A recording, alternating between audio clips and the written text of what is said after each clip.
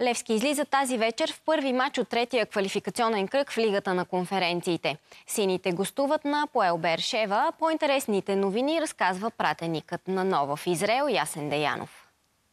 Добър ден от Телавив, където обстановката е следната пъти по-различно от това, което очаква Левски на около стотина километра разстояние по-късно тази вечер.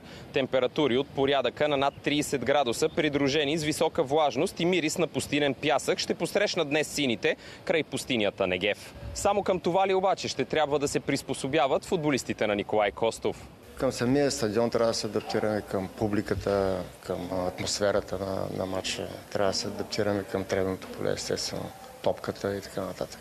Добрата новина в родния лагер е свързана с нестихващото напрежение в Апуел. Следствие на сбиване между играчи по време на игра на табла довело и до отстраняването от отбора на един от най-класните състезатели в тима на домакините. Още преди този случай обаче лошите резултати на отбора и загубата от местния съперник Макаби Телавив с 1 на 6, разпродажбата на ключови футболисти и високите цени на билетите вече бяха вдигнали на крак феновете на клуба, които поради изброените причини се очаква днес да не успеят да напълнят стадиона на Бершева, както често правеха доскоро по време на евробитките на Апуел. В исторически план Левски вече има една победа като гост на израелци в Европа, надделявайки с 1 на 0 над Апуел Рамат Ган с 1 на 0 през септември 2003. В двубой игран в Словакия поради изричната забрана на УЕФА за гостувания в Израел следствие на военния конфликт на страната с Палестина. Какво обаче ще донесе на Левски първото гостуване на отбора в обетованата земя? Отговора научаваме заедно в 20 часа и 30 минути минути